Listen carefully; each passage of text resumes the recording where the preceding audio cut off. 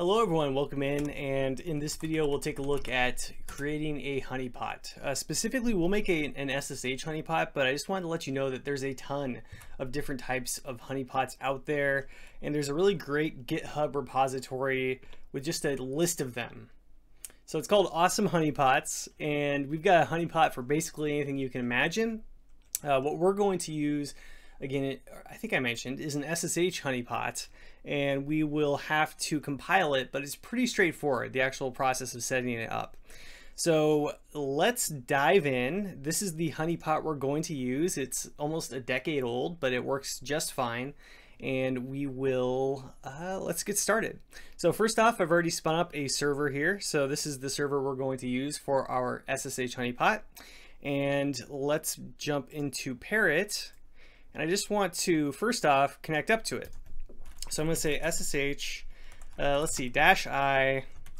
I'm going to use my ID uh, ED25519 and we are going to SSH into the root account. And I apologize that you can't see this. Let's see, how can I arrange this properly? Maybe like so. Yeah, so we are going to SSH into uh, 144.126 uh, dot 209.116. And we will say yes as far as the fingerprint is concerned. And now I can actually make this full screen because we're logged in. So first thing we have to do is apt update and just kind of get a list of the currently available packages.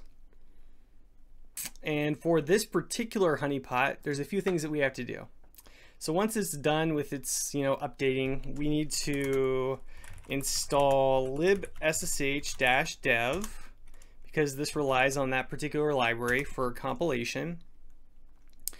Uh, the next thing we have to do is change the SSH port because we want to have our SSH honeypot on port 22. So we should change the actual port that we're using to connect up to this virtual server uh, so that you know we can connect up to it separately from the honeypot, which will actually be attached to port 22. So once this finishes with its triggers and whatnot, we will change the SSH configuration. We'll go ahead and grab the repository from GitHub using git clone. We'll configure it, we will compile it, and then we'll see kind of what happens. So come on, you know, take your time, it's all right. So let's actually open up a new terminal. I'll make it a little bit larger. And we might be able to still see, no, we can't see that unfortunately. All right. Come on, scroll all the way down.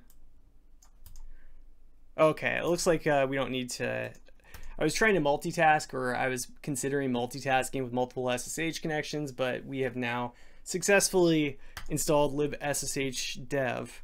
Uh, so we need to change the SSH port. So what I'm going to use to do that is v, we'll say v slash etc slash ssh sshd underscore config. And we're going to change the port. Let's change it to port 2244. And we're going to save it.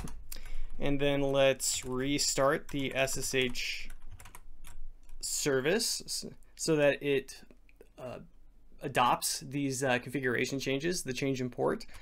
So we'll say systemctl reload sshd.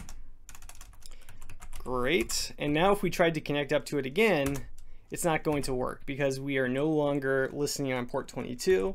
We are going to listen on port 2244.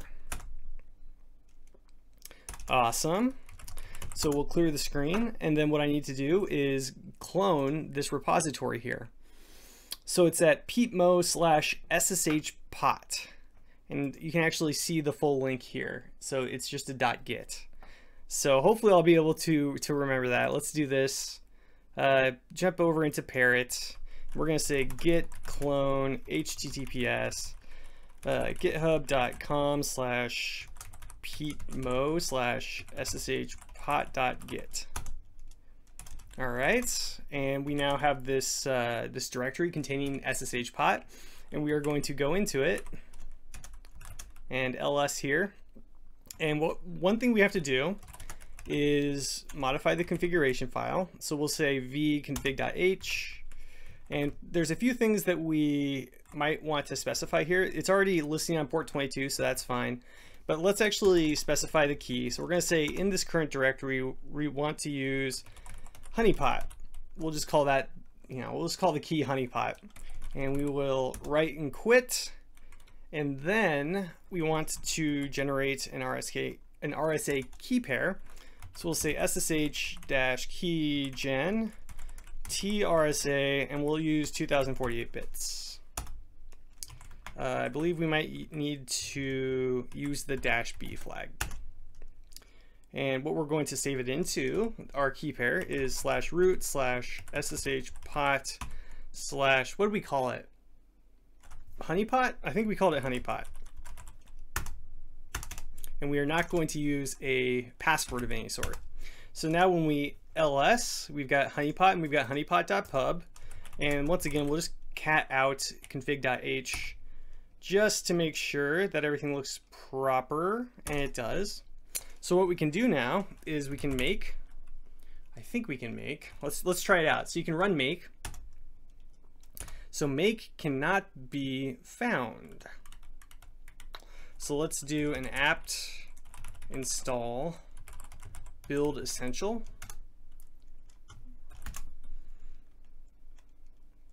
So you might need to install the tools necessary to compile and make these applications. And it looks like uh, that's something that I neglected to do for this particular virtual server. So apt install build essential apt install libssh-dev. And I think that's all we'll need actually for this. So let's try make again. And it does throw out some warnings, but I believe it compiled. So if we do an ls, yeah, we've got SSH pot right here. This is our binary and we can run, we can run it, right? So we will. And let me quickly, uh, let me quickly make sure that there's no additional syntax that we have to use, but I believe that's basically it for this uh, utility.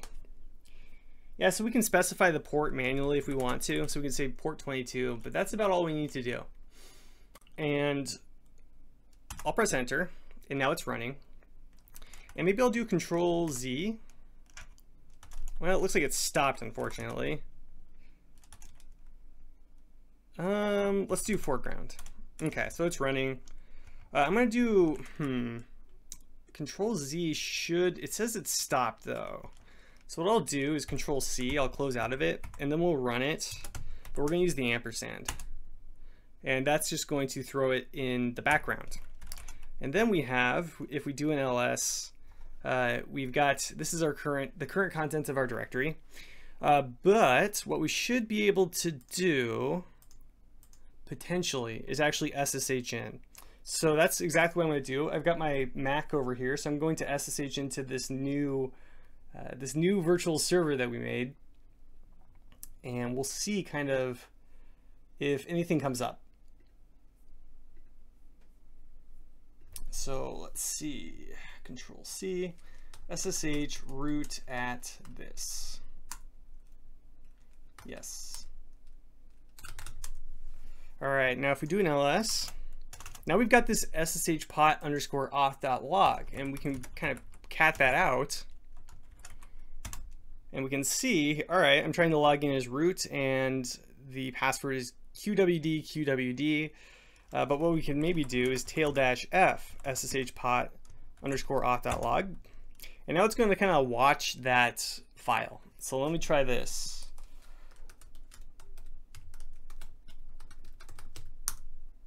Hello security plus students. We're trying to log in as root with the password hello security plus students.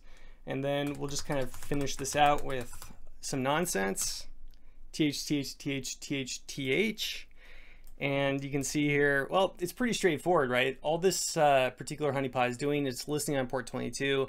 When people try to log in with a username and password, uh, it will save the username and the password that they attempt to log in with to this file. And using tail-f, we can watch the file kind of in real time and see, uh, kind of see what happens, see what people try to authenticate with. So what I think I'll do is I will go have lunch and maybe take a nap and come back and we'll see if any additional uh, authentication attempts occur, right? Just from the internet background radiation of bots scanning for SSH uh, services and trying to authenticate. So let's pause here and we'll come back in a bit and see if anything pops up.